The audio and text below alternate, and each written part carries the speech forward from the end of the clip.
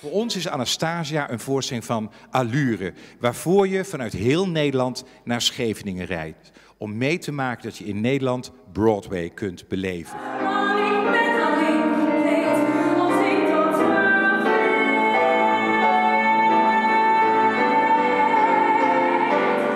Waanzinnig. Ja, ja, jij speelt het al. Ja, ik speel er al een tijdje, ja. Maar het is natuurlijk weer een compleet nieuwe setting. Ik volg eigenlijk het stuk Anastasia eigenlijk al een tijdje. Sinds dat het eigenlijk echt op Broadway stond, zie ik het wel eens voorbij komen op Facebook. En toen had ik eigenlijk al zoiets van, oh, als het ooit naar Nederland komt, dan wil ik het wel heel graag doen.